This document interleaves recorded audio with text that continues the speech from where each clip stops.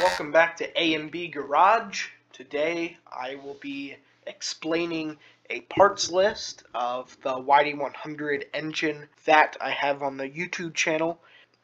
So pretty much self-explanatory, the engine is a YD100.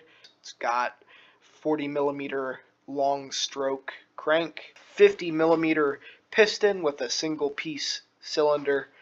Uh, nothing really more than that. Clutch wise, I run the DLH Performance SAF clutch. Uh, great clutch. This thing does not slip one bit. This will run you about 115 bucks. They do have a budget one, but I run the super. With the reed setup, I run a G2 reed. Now with the carburetor, I run the 21 millimeter OKO or the PWK carburetor. This thing is amazing and it'll run you about 25 bucks. Now to run the 21 millimeter OKO, you're going to need a 32 millimeter intake. I bought mine off of DLH Performance. It's got great, great quality. 42 bucks is a small price to pay for an absolutely killer setup. If I was not running the SAF clutch, I would not need the bucking bar, but in my case, uh, when running a stiffer clutch setup, such as the SAF clutch, the stock bucking bar fails almost instantly.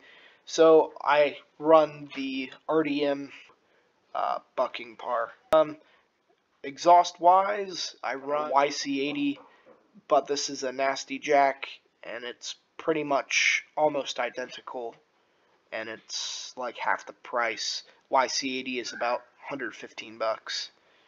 Spark plug wise, I run a NGK BR6HS. This thing is amazing. With the reed valve, you're going to need to use a windowed piston. Windowing your own piston is much better. Now let me explain why. You may be thinking, well, if it's a matter of getting a pre-windowed piston for like literally 20 bucks, why would I spend 70 plus bucks on a Dremel when I can just get this for 20 bucks? Here's the thing. These fail a ton. Now, it's a regular 50 millimeter piston, whatever, but these are machine windowed and they are absolutely trash. They are absolutely disgusting windows. They have jagged edges, but even if you do file these out and make them look good so they won't destroy your cylinder, they are also too wide. And this is a bad thing because the windows, they are actually wider than the intake port itself, and that causes inevitable scoring to the cylinder. It cuts performance, a whole bunch of nasty things. The windows themselves are not tall enough.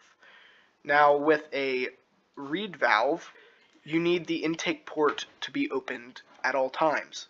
But because the pre-windowed pistons have ports that are too like too short, that doesn't happen. They actually close at bottom dead center, which is gonna hurt and hinder your performance. Which all of this can be avoided. Get a Dremel set, and you can window almost infinite pistons, and you can port your own cylinder, which I've also done to the YD100.